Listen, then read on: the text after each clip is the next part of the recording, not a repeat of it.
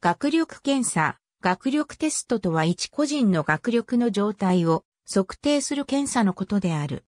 検査の結果は、教育目標の達成度や相対位置で表現される。学力検査は、標準テストと教師作成テストに分けられる。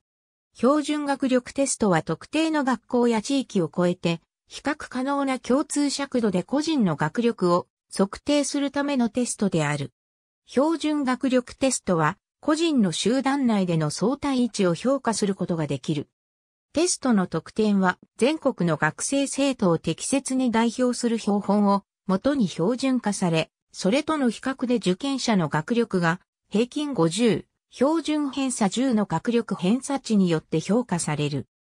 テストの内容は学習に使用された特定の教材に由来することは避けられる。講義の心理検査の一種である。教師作成テストは教師が授業で生徒に習得させることを目指した内容のうちどの程度が習得されたかを確認するために行われる。一単元など範囲が狭く限られることが多い。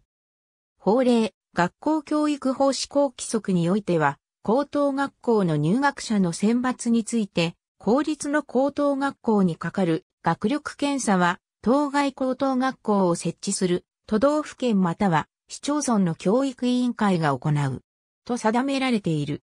また高等学校の入学者の選抜は、調査書その他必要な書類や学力検査の成績等を資料として行うものとされ、学力検査は入学者の選抜の資料とされているものの、必ずしも必要とされているわけではない。大学入試については、国公立大学において二次試験の際に、前期、後期日程個別学力検査と称する場合もある。ありがとうございます。